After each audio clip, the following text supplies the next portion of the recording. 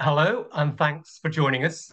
I'm Michael Stevenson. I'm leading the OECD's work on education for human flourishing. This is an international initiative to shape the purposes and directions of education for the century ahead. It brings together the most senior policymakers, the people with the long-term responsibility for the lives of young people, in seven high-performing jurisdictions.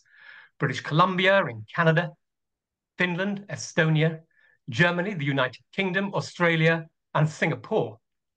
Together, we're building a new narrative why education purposes need to change, what we mean by human flourishing, how education can prepare young people to flourish, and why this matters in an AI world. And the competencies and capacities we'll need to nurture if young people are to find their purpose in life through learning. We'll be hearing from Andreas Schleicher, who'll set the scene I'll introduce the foundational arguments, and then we'll be talking to some of the key policymakers at the heart of this process, from British Columbia, Singapore, and Finland. Before coming to your own questions and comments, a huge number of you have already submitted them over the last few days. Please use the chat to react to today's discussion. This is part of what will be a dynamic international conversation over the months and years ahead, and we want to know what you think and to take full account of it. Well, let's make a start. Andreas Schleicher is Director for Education and Skills at the OECD, and he's sponsored and steered this initiative from the outset. Andreas.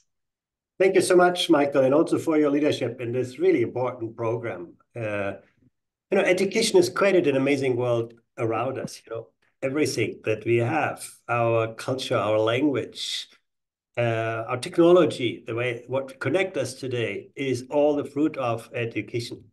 At the same time, we also have to recognize that in the world of today, education has left us with some quite fundamental disconnects.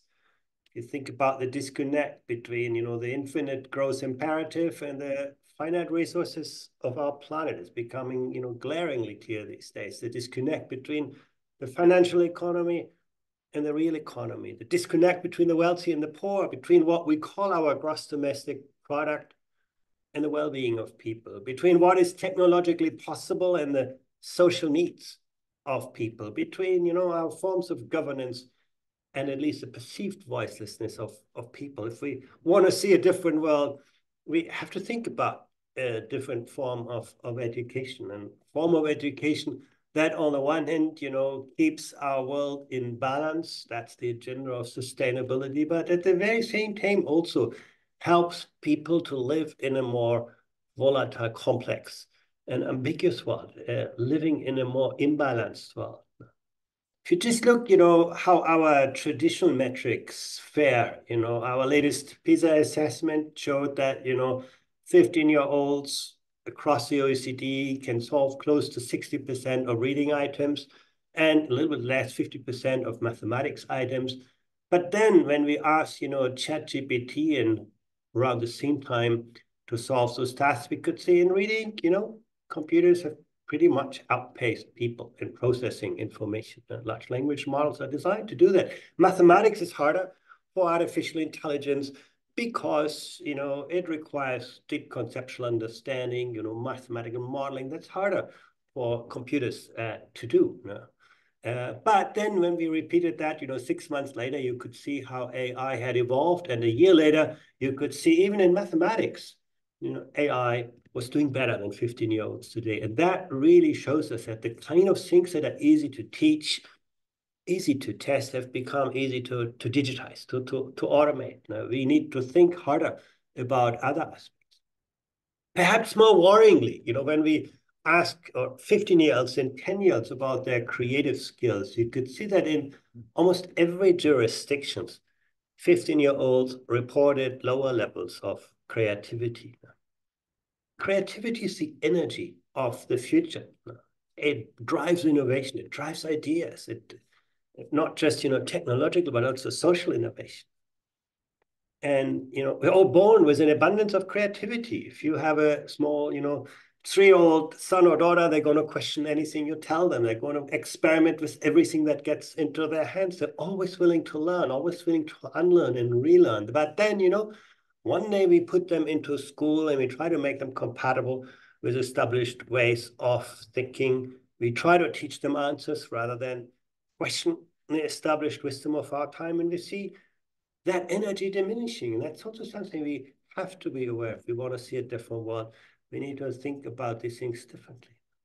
Now, if you think about the purpose of education, it's perhaps not so difficult. I mean, the first thing is pretty obvious. You know, education is about helping you understand what's important to you, why you are here on this planet. Uh, I think this is perhaps the part that everybody would agree to. Education should help you figure out what you are good at and what you can become good at. And that's a non-trivial task. The education systems that are just like a supermarket offering students lots of choices are not achieving this goal as, you know, in the same way as education that are highly structured. But, you know, having that kind of process, it helps people understand, you know, what is my place in this world? How can I develop my talent? But that doesn't make you happy because we get happy always by making a difference in the world. So helping young people understand what this world asks them, uh, what this world needs. And that's a function that schools often underestimate in their importance now to give give young people a, a window to the world. And last but not least, also important, you know, aligning you know, better skills with better jobs and better lives. Now, I think that's something that, you know, we see a growing disconnect between the, you know, we have young people graduating from, you know, expensive universities and having difficulties finding a job while employers say they cannot find the people with the skills they need. Uh, so this is also an important area that education needs to get better of. So this is, sounds like a simple agenda, but how do we make it visible? And I just in you know wrapping this up, I wanted to just share you some initial efforts to to see this bigger picture. And in our last PISA round, we looked not just at the academic performance, we try to capture the psychological well-being. Do students experience positive emotions? Are they happy with their life? Do they believe their life has meaning and purpose? Now, we looked at agency and engagement. Can students mobilize their cognitive, social, and emotional resources, not just learn stuff, but do things. Now, that concept of agency is so important. Now, what is my role, my responsibility? Can I adjust my place in this life? Emotional resilience. Can I reimagine, reinvent myself when the context changes? Something that we are not born with. Humans, you know, like stability. Resilience is something we have to learn. Do young people go to school as consumers that just you know take things away or are they actually active contributors co-creators of the learning environments? Now the quality of human relationships. How do students relate to students? How do students perceive their educators? Are they just instructors or also good coaches great mentors great facilitators also uh, way you know do students have a life beyond school like, can they take ownership of their life, you know, manage it. You know, something that we expect the day they graduate. You know? What about school? You know? The material and cultural well-being. And last but not least, you know, do students grow up with the idea that the world offers multiple perspectives, different, different ideas. It's very easy for young people to grow up with one narrative these days, and technology can actually make you be happy and live in a false narrative. To what extent are young people open to diversity, pluralistic perspectives and ideas. And, you know, just to highlight a, a, couple of results from this, just to give you a sense of this. Now, if you look at traditional metrics, you know, academic success, Singapore always tops the chart on PISA. Whatever you look at, you know, Singapore comes out first on academic performance. But if you scratch the surface and look at some of the other dimensions, you can see there's a lot of scope for improvement, even in the top performer academically. And Singaporean kids are not that happy. They do not show that high level of emotional resilience. No? They do not have much of a life beyond schooling. If you look at another country, Albania, it's almost the mirror image of Singapore. You know, Albanian students get 10 out of 10 points on, you know, they're happy with their lives. They see meaning and purpose, but they are not really good academically. Now you may ask yourself, well, maybe we have to make a choice between, you know, students being happy with their lives or doing well academically. But, you know, you can look at a country like Denmark that seems to get most of these things right. And I do think it is important for us when we talk about human flourishing to look at education through a broader lens and to make those broader perspectives really visible as well. Final slide. what is the driver of this? And this is, I think, also very, very important in the context of human flourishing. When you look actually ownership of learning was best predicted not by what people did, but by the quality of student relationships with their teachers. Where having the sense that my teacher knows who I am, who I want to become, ready to accompany me on, on this journey. And that was actually also the best predictor of academic success. And so I think we need to get away from this notion that, you know, human flourishing and academic success are in competition. Actually, they are, I think the synergy between them is one thing that we should be looking for. And I will stop here. Thank you very much, Michael. Thank you, Andreas.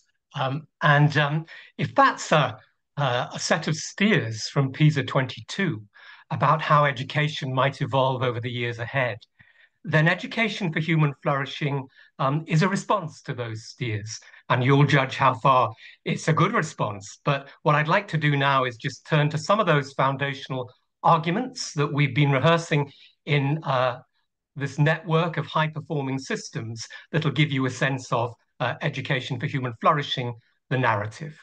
Just waiting for those slides to come up.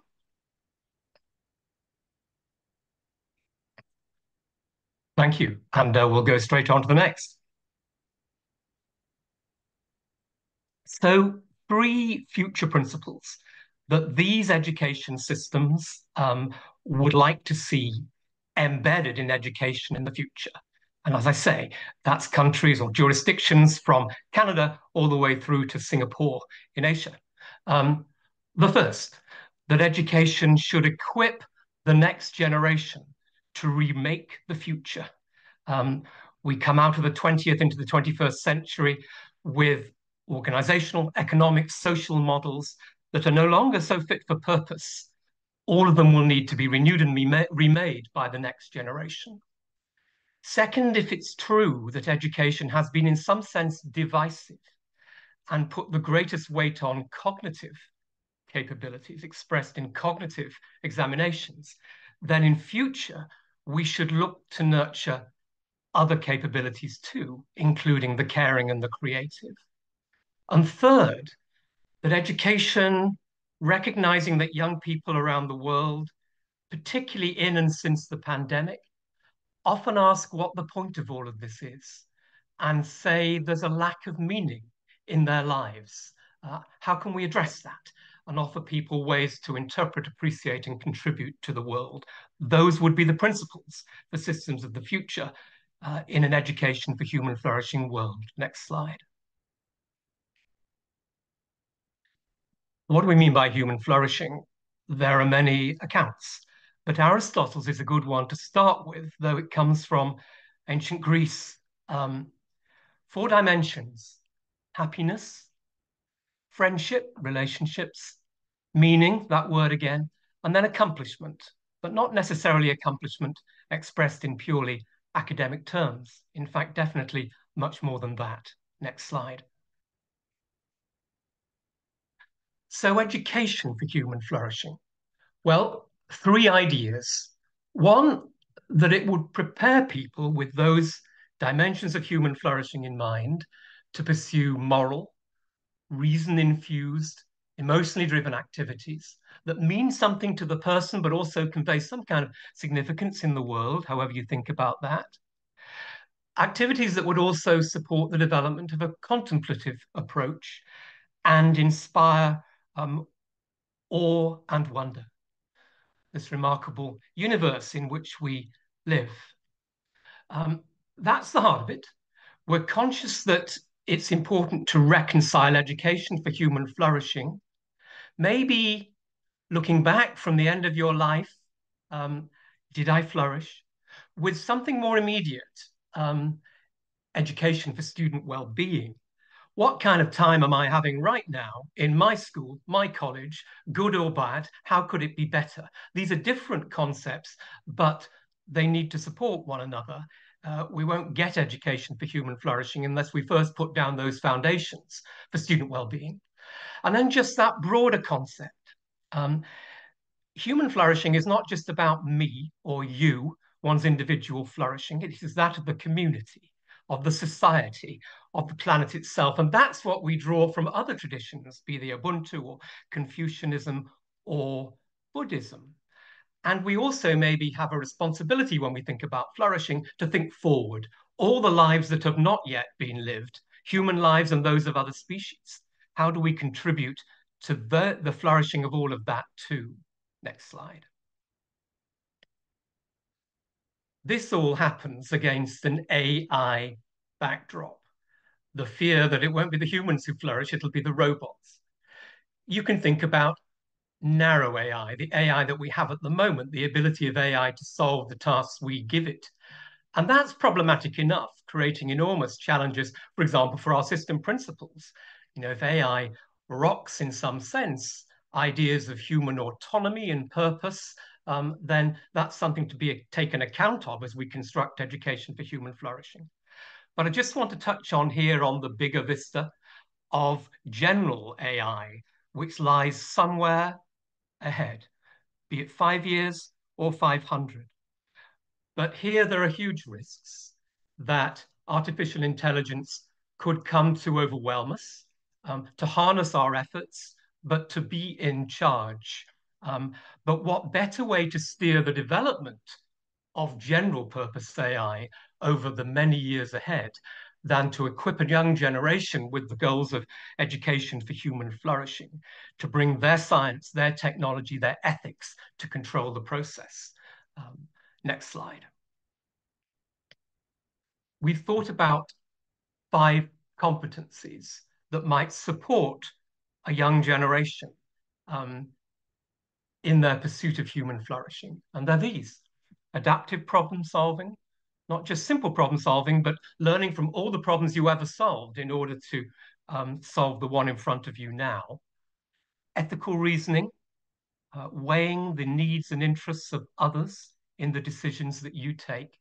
And then three linked competencies that touch on meaning making, interpreting the world, a synthesis of all of those very different worldviews out there, appreciating the world, extracting beauty from beautiful experiences and asking yourself, how should I respond to all of that? And then expressing oneself in the world, your passions, your music, your sport, your volunteering, if you like, stamping your meaning on the external environment. All of these we think are teachable, measurable, and they're not instead of math, science, and reading, they build on them, but they help young people find their purpose in life through learning. Next slide. Next with this? Well, those are the foundational arguments, but the countries and jurisdictions involved in this work are all developing particular dimensions of what it is to be an education system in response. Singapore, thinking about learning environments. Australia, AI and learning and assessment. One of our experts thinking about leaders and teachers. British Columbia thinking about equity system design is being carried forward by all seven of the jurisdictions together, and so are metrics. So that is where we go next over the next year before we actually publish the final conceptual framework, Education for Human Flourishing. Uh, final slide, I think, Kevin. Um, so that is where we've come to. Um, working with these seven jurisdictions, those are the ideas. And I now want to introduce some of the countries who are at the heart of this work and um, share with you their reflections on what's going on and why it matters. Uh, a couple of days ago, I had a chance to talk to British Columbia, Melanie Stewart, uh, Associate to um, a Deputy Minister in the Education and Childcare Ministry there in Canada, and uh, Chern Wei Sng, the Deputy Director General in the Singaporean Ministry with the responsibility for Singapore for uh, curriculum. Both of them at the heart of this work for some years now. And I began by asking Melanie if she would reflect on um, quite how this is being received in British Columbia.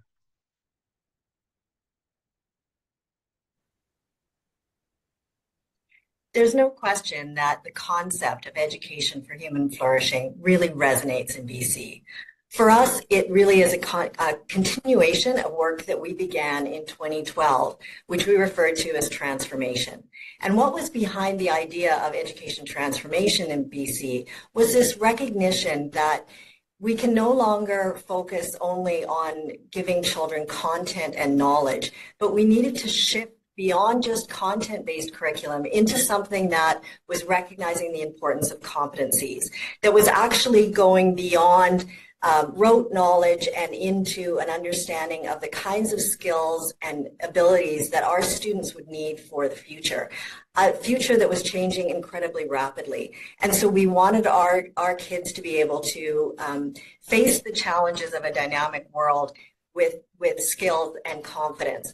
And so we shifted our whole curriculum from 2012 through 2016 when we started implementing it through the younger grades and then finally through our high school um, grades in 2019. A part of this journey has been really recognizing that we are not just educating people for jobs, for economic roles in society, but also their whole person. And so integrating the importance of social and emotional learning into the journey and really seeing the whole child and the whole human being. I think what's been so exciting about this latest work in the high performing systems for tomorrow is taking that core of education for human flourishing and expanding it even more into an understanding of how, how we can um, create a sense of meaning for students or help them on that journey of what meaning is. And, and so that their, their lives and their journey um, has, has that sense of purpose and agency so that we have citizens in the world that can actually take confident action to make the world a better place. And it really is, I think, also about that shift from individuals to a recognition of collective action and community as being integral to, um, to education. Thank you, Melanie. And Chern Wei, if you think of this from a Singaporean perspective, how does education for human flourishing resonate there? Mm, thanks, Michael. Uh, like in BC, uh, this vision of uh, education for human flourishing has strong resonance, uh, even in Singapore. Um, in, in our system, we have always seen education system as a social leveler, helping every student to thrive and be the best of themselves and uh, contributes towards the collective uh, well-being of the society. These are very established uh, aspirations for education uh, in Singapore. Um, but we have seen in recent years several uh, building up of pressure points, uh, ranging from the emergence of general AI, uh, that is uh, blurring the line between what machine and humans can do. We have seen how uh, environmental concerns are posing really existential threats uh, to the human race. We have seen the growing concerns with uh, well-being issues that our youth are, are confronting. So these are new and severe challenges that are forcing us to reimagine what education can do better in order to help our students thrive in the world of tomorrow. And so the vision of uh, education for human flourishing has a strong resonance with us because it focuses on aspects like helping youth to find meaning and purpose in their lives, helping them to be adaptable and um, have the wisdom to make ethical and responsible decisions and contribute to the flourishing of the community and of um, uh, uh, the collective and not just individually. I think these are indeed very noble aspirations that uh, Singaporeans uh, do find uh, a lot of um, resonance with. Thanks. Thank you. I think one of the striking aspects of the work is the way all the countries have come behind um, the thinking and contributed their own perspectives on issues of importance. And Melanie in British Columbia, you've been leading the thinking on what all of this might mean for equity um, can you just share with us some of the initial perspectives on the um, equity um, implications of education for human flourishing?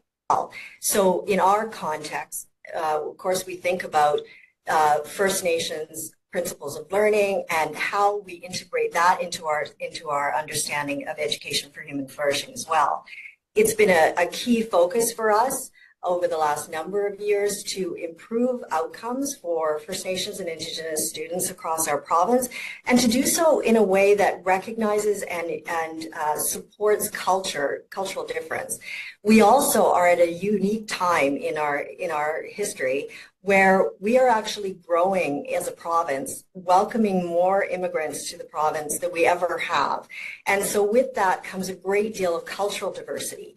And so it's, it's part of the, the challenge and the richness of our education system that we're able to integrate all of these different voices and perspectives into how our children are, are being educated and taught to think about a very complex, exciting, uh, and culturally diverse world in the future. So I think this has been uh, fundamental for us, and I think will continue to be really important as we go forward.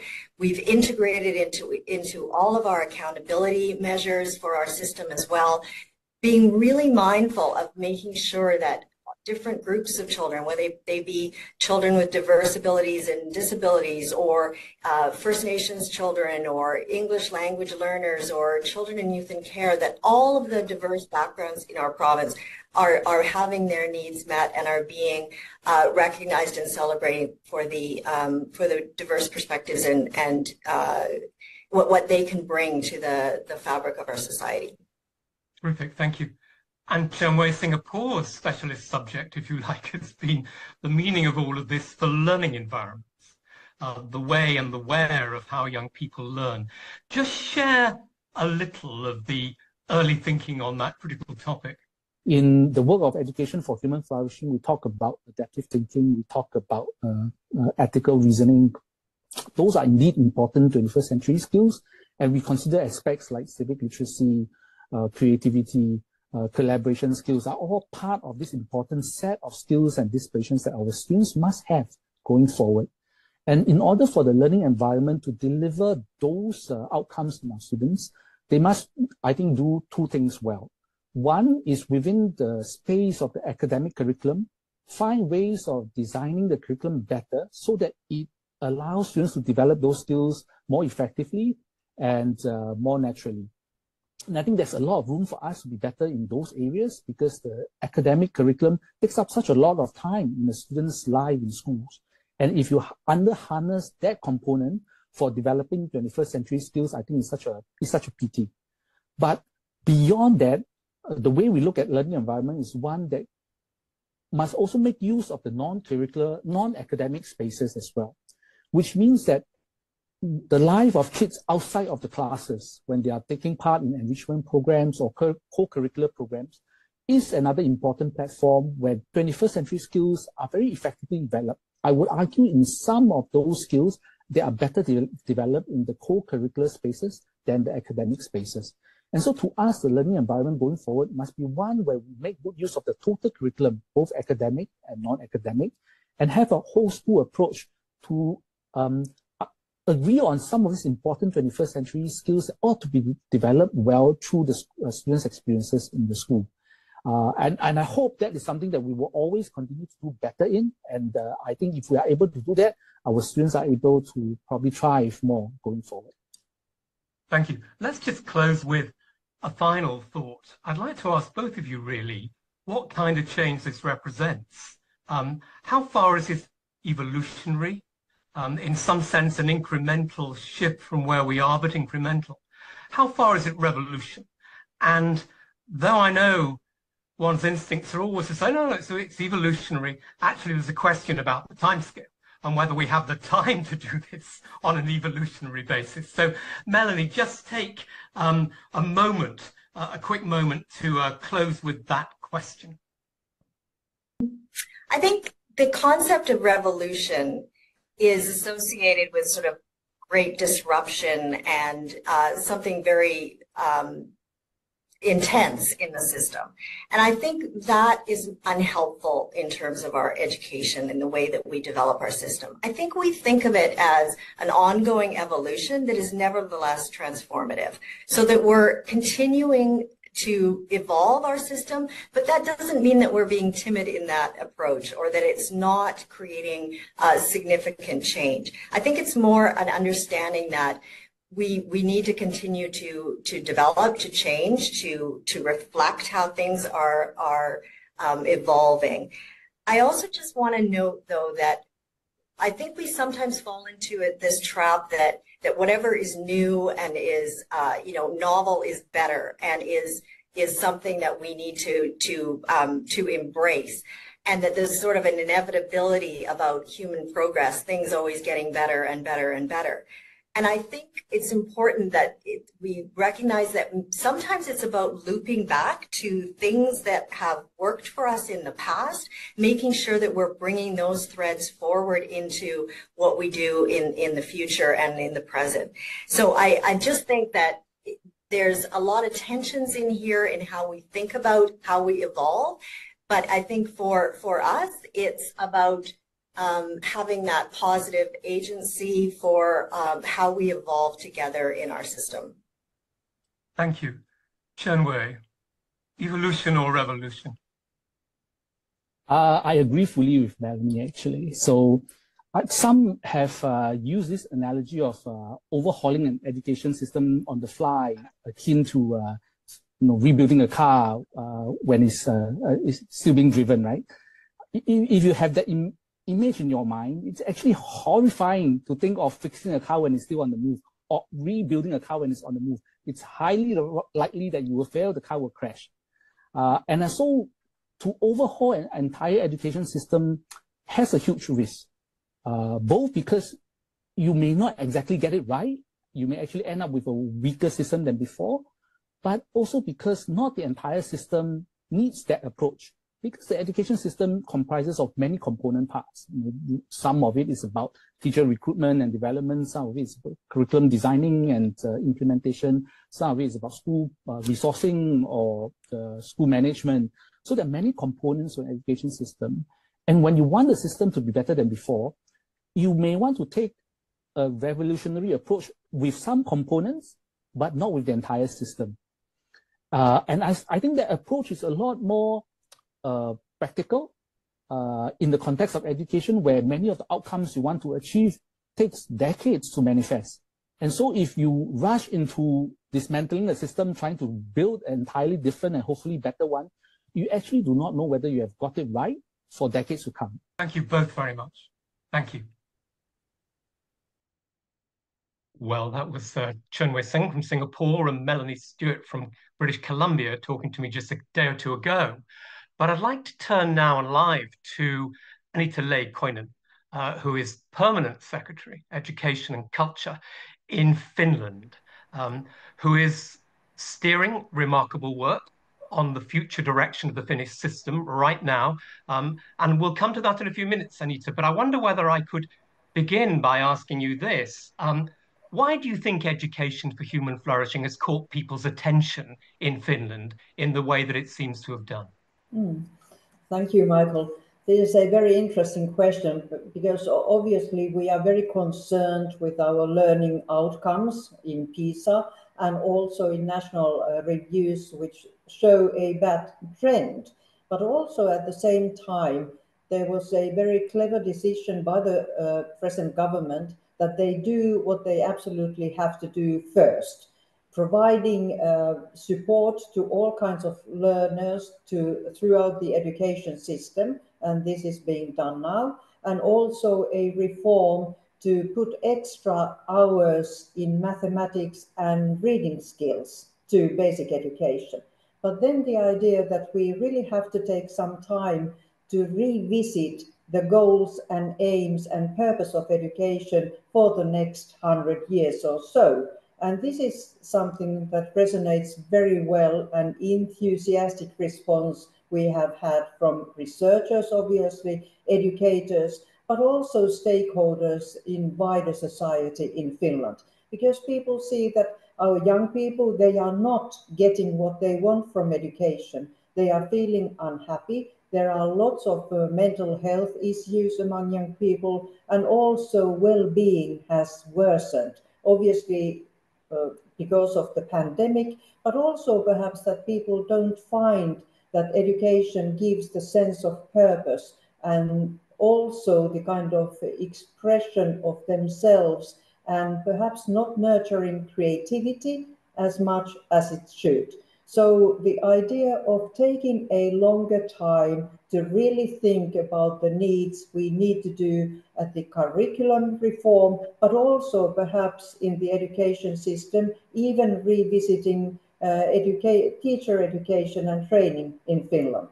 So big, profound changes in Finnish society, both economic, societal, and obviously ecological reasons. They are all behind this. And I think Finnish people see that there is really a need to do something and think before taking any kind of uh, sudden changes in curricular development, for example. Thank you. So a lot of um, momentum, but shifting the direction of a whole national education system is no trivial task. Uh, but that's what you've taken on. So just say a bit about how you're going about that. Hmm.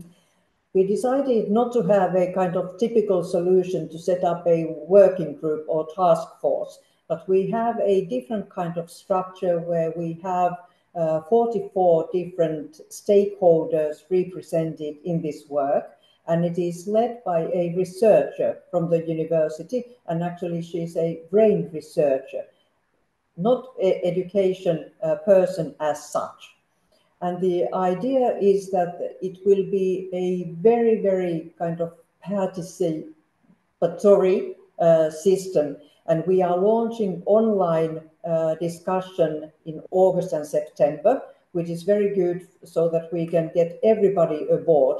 And obviously, the challenge is all, always that you don't have just the progressive educators involved in discussion, but really make sure that you have educators, researchers, employers, and the economic structures, and of course then parents also, young people taking their saying what they want.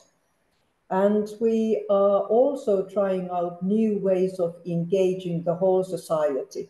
For example, we are going to have kind of targeted dialogues with those groups and people who do not generally take part in these uh, kinds of discussions. And this is a, a very important part of the whole process. So get the whole society to think about education, which is so very dear to Finland. It has been since the nation building and it has brought us very good uh, economic prosperity. And now we see that the change is coming and we have to involve everybody so that the new thoughts are acceptable for all families too, so that we can make understandable and the dialogue is then the answer. You touched there on uh, economy, and economic projections are challenging globally and in Finland. I remember being in a conversation about a year ago with you in Helsinki, and a senior economic policymaker said you know, the projections for growth in this country are half a percent for a few years, and then they go to totally flat. So what's the place of work in your vision of the future, your human flourishing vision? Um, can education for human flourishing not only find a place for work, people will go on working at the heart of their lives, but actually improve economic performance at national level? Yes, absolutely, because we know, know that there's huge potential in new kind of uh, growth, which uh, tells us not to exceed planetary boundaries as we have done so far. And well-being of people can be something else also, not only economic well-being. But obviously we know that jobs, paid jobs, as we now know, they are not so many and they are not available for everybody. So nurturing creativity really that we can take action to mold our futures, not just that education and people always have to adjust. They can actually take action. So this is very important for the education system. And it's the only thing that we can actually renew our human capital so we can be creative. AI can't be more creative than we are.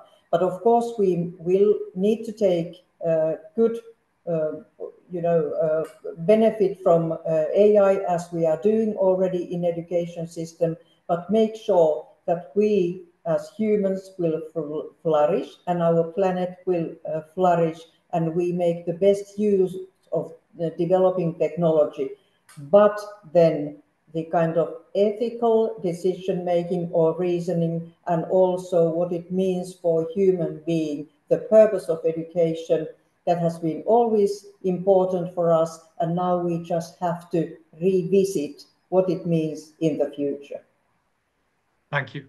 Let's bring in Andreas to join you, and let's open this conversation up to people who've joined us from around the world, um, and also some who've sent in uh, questions and thoughts beforehand. Um, and Andreas, might start with you and stick with that AI theme that um, uh, uh, Anita just opened up there. We had a, um, uh, a question from the US, I think. Um, how does AI change what it means um, to know and to do? I mean, do we need um, to read books if AI can summarize them for us? Well, I would actually argue that we need to uh, do it even more if uh, we don't want to just become slaves of, you know, information thrown at us. If we want to take an active role in, you know, uh, shaping the future in our understanding, actually, we need to become even better than we were in the past. You know, in the past, reading was about extracting knowledge from, you know, carefully curated text. Today, it's about humans being able to construct knowledge, to navigate ambiguity, to manage, you know, conflicting pieces and to make judgments. You know, the one thing that AI will not provide in the foreseeable future is consciousness, you know, being aware of ourselves. And I do think that, uh, you know, there are a lot of things we may no, no longer need to know, but I think we need to have a deep conceptual understanding of different areas so that we can navigate the information uh, that we receive. Uh, Felix Sarokia Raj from India, um, same sort of area, asks, can AI help teach not just the cognitive competencies, but the behavioral and emotional ones too? And I might stay with you, Andreas, for that. You know, uh, I'm not sure it's about uh, teaching those, but I think it can help teachers to become much more aware of those dimensions. AI is actually incredibly powerful in diagnostic diagnostics, understanding how students learn and how they learn differently. And I think it can give teachers the tools to actually engage with that much more productively. Uh, in a way, so far we have looked at students' work through academic result, and with AI, I think you can get a much better understanding of the, you know, what gets students interested, what gets them bored, uh, uh, uh, where they, you know, engage, where they get, you know, disaffected, and I, I believe there's huge potential. You know, AI it's not going to replace teachers, but teachers who are good at using AI will replace teachers who struggle with this. And so I think harnessing the power of AI and its analytics to engage with the students in a much more holistic way, I think is a huge promise of, of artificial intelligence. It's not a magic power. You know, it's going to amplify good practices in education as well as it can amplify poor practice. Know, it can make the work of teachers more scripted, more narrow, more focused actually on very narrow academic content, or it can, you know, widen our possibilities to see students in a much more holistic way. You know, I think there's great promise in that. Thank you. I come to you, Anita. Um, a number of people are interested in uh, the implications of AI for equity. Can policymakers and educators make sure that AI in schools doesn't actually exacerbate educational inequities, make things worse? This is a very important question, and I think it all comes back to the question or the first question about the motivation to learn. How can we and teachers and education systems motivate learners to learn when many people can see that the AI will actually be enough? It's building its uh, capacities, and this is one of the key questions of teaching profession in the coming years. It is already now, but I think this is very important. And equity uh, is a, one of the big, biggest challenges, not only in Finland, but I think uh, at a global level. And this is one of the human flourishing aspects. How can we communicate with each other and build this kind of uh, flourishing not only at individual level, but at community, society, and also at global level. So there, there are all means that we have to be aware of the possibilities and threats AI bring and choose the good side. Because I think AI will give more time for teachers and learners to interact and we know that most of sense building and learning happens in interaction. So this could be an answer. And also these kind of individual help and uh, support for individual learners can be helped by AI. But definitely we have to start perhaps also with teachers and teachers' attitudes and also capabilities of understanding what AI means and how it can be of help to teaching, but also perhaps give room for better informed education policies. When we use AI, we use data more kind of in a innovative way and be uh, truthful to ourselves that we can make technology help to uh, create better policies also. Michael, Michael, I, I, actually would probably go even one step further. Mm -hmm. I would say that we will not achieve equity in education without AI because our kind of one size fits all approaches uh, simply do not do justice to different needs, interests, motivations of learners. And this is exactly where AI comes in. It will help us to understand how different learners learn differently and engage with us. You can already see now students with special needs suddenly have you know opportunities through AI that they would never had uh, in, in the past. You know, I, I, do think, and what I need to highlight it, you know, the quality of interactions, you know, informed by evidence rather than just impressions. I think it's a huge potential. I, I, I do not believe that education can deliver on its promise of equity without harnessing the power of AI. It has not so far, and there's no reason to believe that it will do in the future unless we make education a much more personal, a much more adaptive, a much more interactive experience. We've had a couple of questions while you've both been talking, um, which say, well, everyone's already confident that AI will mean not only a better life for learners, but a better life for teachers, and they will be able to do the things they always wanted to do, to develop the whole child, um, to, to make sure that each child's individual needs are better met. Um, but beyond the confidence that you both express, have you got evidence? Can you, people are asking, actually point to places around the world? Maybe you've got evidence in Finland, Anita, of this actually happening, where teachers are beginning to see that they can use the new technologies in order to be the better teacher they always wanted to be. Perhaps begin with you, Anita. Yes, uh, actually, we can see with the individual, uh, very knowledgeable and enthusiastic teachers, they have taken AI into practice already. And it is actually one of the topics in our future of education exercise and we have researchers in the field and uh, uh, uh, teachers also. And then the Ministry of Education and Culture, together with our National Agency for Education, we are now drafting recommendations for the use of AI in, in schools, in education. And obviously we follow the good work that is done at international level by OECD and UNESCO. But still, uh, we can see that there is evidence. Actually, we organized a roundtable discussion around AI with our Minister of Education. And I must say that we were perhaps all surprised how well knowledgeable and enthusiastic the teachers were. And they actually had good evidence how they could take into uh uh, take, individual learners were much more uh, better catered for throughout the AI because then you can have individual uh, teaching going on at the same time for many people and also these groups that do not flourish in our present education system they have been very much taken into these new experiments. So there is growing evidence definitely Andreas, the wider evidence base?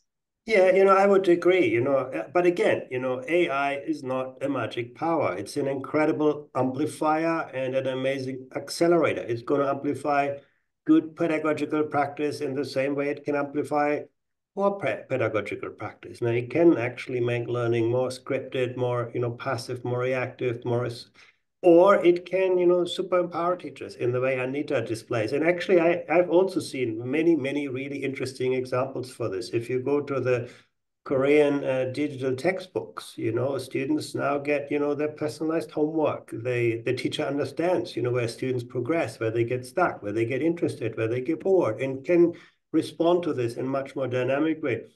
I've seen an amazing example where you know students' library use was analyzed through AI and uh, giving teachers clues where students have you know psychological difficulties, uh, even you know propensity to suicide that you know the students might have not have understood themselves but and the teachers would have never talked to them but they could read those signals through you know big data analysis. I see them amazing amazing possibilities and i think you know teachers need to become you know creative designers using those kinds of technologies and then you know i think many of these promises can materialize at scale if you ask me today do we have evidence at scale not really. You know, actually, we see a pretty flat relationship between technology intensity in schools and, and, and PISA outcomes. We actually see, in some cases, technology intensity being negatively related to both cognitive and social and emotional outcomes. So I think it is, again, you know, it's an amplifier, accelerator, and, you know, it will depend much more on teachers in the future than in the past, how this plays out.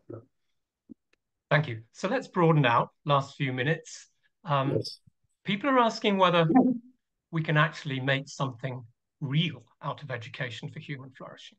Um, how do you go about putting it into the middle of a national education system? So, to you, Anita, um, uh, where do the competencies we were describing go from adaptive problem solving all the way through to expressing yourself in the world? Do they go into the next national curriculum? How do you see all of that? I think we have uh, quite well taken into account the sustainability needs. So that is in our legislation starting from early childhood education and care. But uh, it will take time, obviously, before uh, we get those well-educated people who think of the planet as being our uh, uh, responsibility as a whole humankind. But then these new competencies, we need to define them and obviously there is also a will to uh, be able to measure them. And I would say that the, we will have to take better care of the social emotional skills. Uh, it has been a kind of, uh, I would say, a bit sensitive topic here in, in Finland to some extent, but we can see that this is something that we absolutely need to take better uh, care of. And also then perhaps not to, there has been a strong emphasis always on cognitive skills, on academic skills, and still there is to some extent, but also so that people would be more creative and uh, I would say the agency of students throughout the system, they will need to be tackled in the next curriculum uh, reform. And the most important thing is that we now take the time it takes to really think of the new needs for the new national core curriculum. And there is a big autonomy for our teachers, which is good, but we also need to think when we think about curriculum change, there is always teachers are involved, but perhaps even better communication is now needed. And what is very important is that we have to engage municipalities, about the 300 municipalities in Finland who are actually responsible for uh, K to 12 education. And this is something that I think uh, needs even more uh, refined processes. But then uh, national core curriculum and the kind of how can we articulate the purpose, the aims of education that would make it possible for every single person to flourish as a human being, but also be responsible at com uh, community level, but also at national and even at global level. So this is the question, and it takes some time.